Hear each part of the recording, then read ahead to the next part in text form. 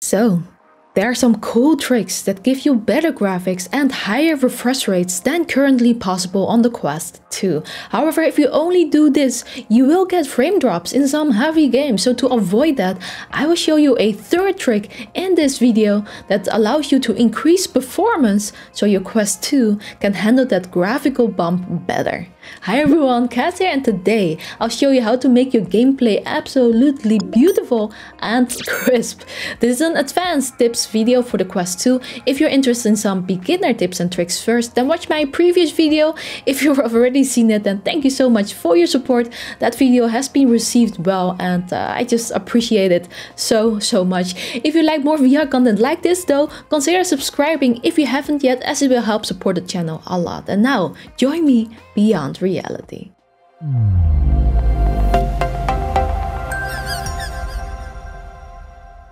Of course, I've tested this out and I can confirm that it works or else I wouldn't make this video. But here's some proof. On the left side, you can see the default graphic settings of the Quest 2.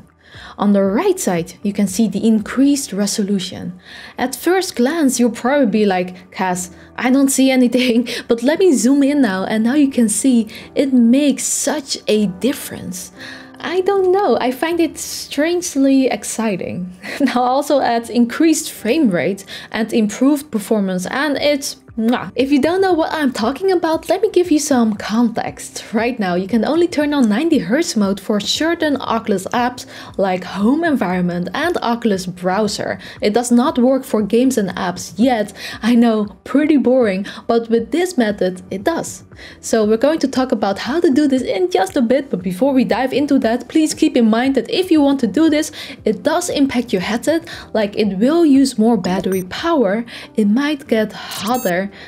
and it might cause performance issues. So if you want to try this, it is at your own risk. You might get motion sick, but I have tried what I did in this video and it has worked out for me so far.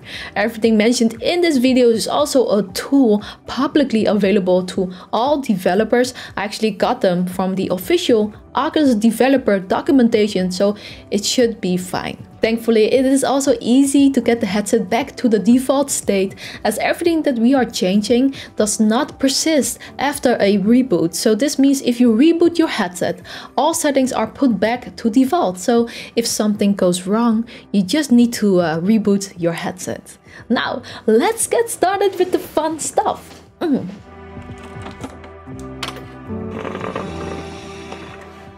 Cheers everyone! So, to do this, the easiest method would be to use SideQuest. If you don't know how to use SideQuest, then check out my video that I linked below, where I go over how to set up SideQuest in an easy to understand way. You just need to follow the steps until you're able to connect your headset. If you've already done it before on Quest 1, there is no need to do it again. So once you've done that, launch SideQuest on your computer. Then connect your Oculus Quest 2 with a USB cable to your computer. You can also use the provided USB-C to USB-C cable from in the box. Wait until you get this nice green icon at the top left in SideQuest because that means that your Oculus Quest is connected successfully. Now SideQuest has a handy built-in user interface that allows you to run ADB commands. ADB stands for Android Debug Bridge, which is basically a tool that developers use to uh, install and uh, debug code on Android devices. The Quest, if you didn't know yet, works on Android. So open that user interface by clicking this icon at the top right,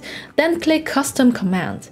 Here we will fill in the commands that allows us to change the settings. Now, Oculus provides a couple of commands, which are pieces of code that developers can use to debug their games and apps, and I will provide every code that I mentioned in the description for your convenience, so you only need to copy and paste it. So to increase resolution, we will use this command. What this setting does, it overrides the default texture width and height. If you set this number to one that's higher than the default, then some in-game textures will render at a higher quality, so you'll get better graphics in the game. Now I'm setting this to high, but you can set it to lower too, if you're curious to know what that looks like. I can tell you it looks like though. The numbers here and uh, here can be customized a little, but I will explain that in just a bit. So copy and paste this line in the text field and click run command. It will say command completed if it was successful. Then to increase refresh rate, we will use this code. The end says 90 because we want to change this to 90 Hertz. So if you want to change it back to 72, put 72 here. So if you set this, all games and apps will try to use a refresh rate of 90.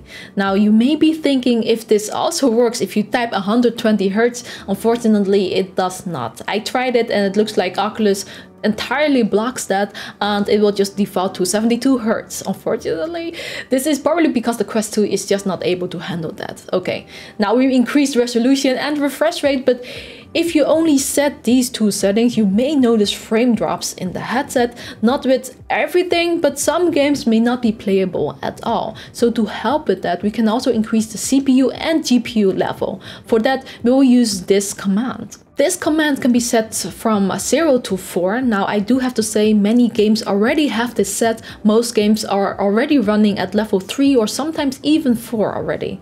I checked this with Beat Saber and The Walking Dead Saints and Sinners on default settings and both were already running on CPU level 4 and GPU level 3. I'm using Oculus Developer Hub by the way to check this, so this uh, command will probably not make a big difference in games where this is already set to high, but even in Beat Saber and Saints and Sinners I noticed that this does help when you play in higher resolution, and I think it's pretty awesome. So copy and paste that code and run it, and that was the last of the commands. You can now put on your headset and have fun with it. But before you do that and exit this video already, watch this part 2 because you can increase that texture setting even further or maybe you want to set it lower because some games are not running well on that setting. So if you go back to side quests, you can click on this icon for device settings and tools. If you scroll down here, you can see that the SideQuest developer also provided the same settings, but he made buttons for it, so you only need to click these buttons to change it. I showed you how to do this manually as it just provides you much more freedom. In here you can only choose these numbers and settings, and these settings are mostly made for Quest 1 and Oculus Go even. So if you want to try out different texture sizes or CPU levels, you won't be able to do that here. But with the method that I showed you, you can. I got you here though because here you can see what else you can try out like 3072 is the highest setting here which you can try as well. I noticed though that this is a little bit too high and that is why I'm recommending a lower setting like it works okay with Beat Saber but you will see frame drops in other more heavy games. Still I think it's pretty cool to look at how crisp everything can look.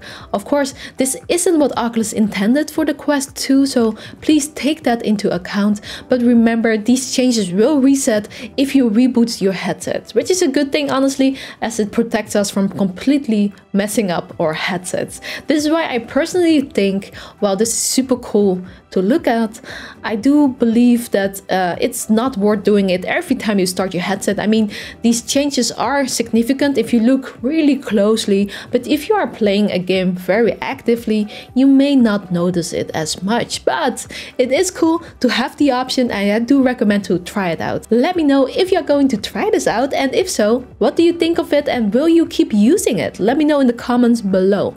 If you got more time, help support the channel by watching more videos on the screen right now. Stay healthy and I hope to see you in the next. A special thanks goes to our champions, especially these patrons down below.